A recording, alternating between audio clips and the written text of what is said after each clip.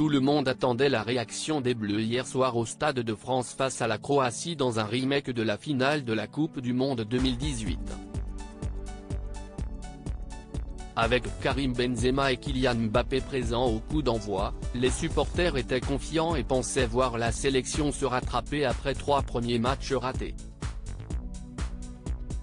Ce fut malheureusement un nouvel échec pour Didier Deschamps et sa bande, qui perdent 1 à 0 et se retrouvent dernier de leur groupe de Ligue des Nations. Une contre-performance indigne pour les champions du monde qui vont devoir se poser les bonnes questions à quelques mois du prochain mondial au Qatar.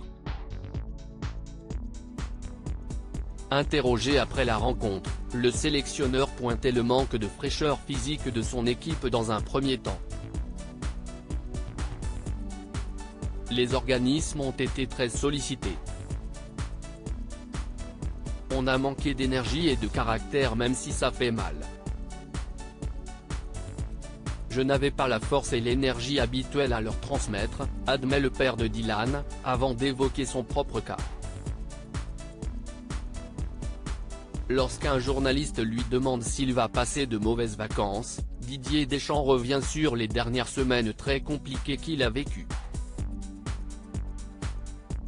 Oui. J'aurais eu de mauvaises vacances de toute façon, mais ça, si est personnel. Si est une sale période, lâche-t-il.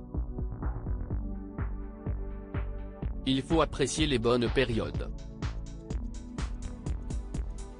Rien ne m'énerve plus que de perdre, même si ce n'est que du football très touché par la mort récente de son père Pierre, le sélectionneur de 53 ans a dû quitter le rassemblement des Bleus le 31 mai dernier pour se rendre auprès des siens, dans le Pays Basque. Revenu meurtri par la perte de son père, Didier Deschamps tente malgré tout de relativiser. Cela peut arriver aussi. Il faut apprécier les bonnes périodes.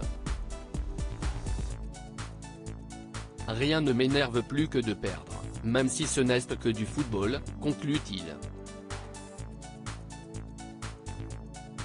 Une fin de saison pénible pour la Marie de Claude, qui vit des moments très compliqués sur le plan personnel et professionnel. À quelques mois d'une Coupe du Monde où la France sera forcément parmi les favoris, Didier Deschamps n'est pas au mieux et il va avoir bien besoin d'un peu de repos avant cette grosse échéance.